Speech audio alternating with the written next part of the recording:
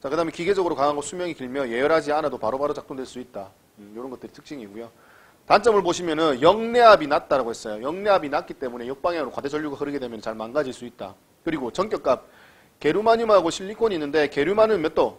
85도. 실리콘은 몇 도? 150도까지 견딜 수 있다는 얘기예요. 둘 다 반도체죠. 그럼 어느 게 사용하기 적합하겠어요?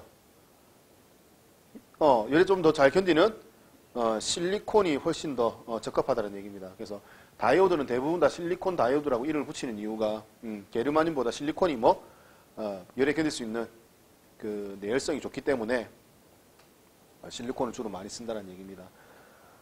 자, 이 온도 이상으로 사용되면 파손되기가 쉽기 때문에 열을 제어하기 위한 장치에 신경을 좀 많이 써야 됩니다. 그래서 뭐 컴퓨터 메인보드를 보시면 알겠지만 메인보드에 이런 어, 트랜지스터라든지 이런 전자제품이 많이 들어가죠. 그래서 열을 식히기 위한 팬 장치 같은 데 굉장히 신경을 많이 씁니다. 팬이라든지 방열핀 이런 데다가. 그래서 그 이유가 여기 있다고 보시면 됩니다.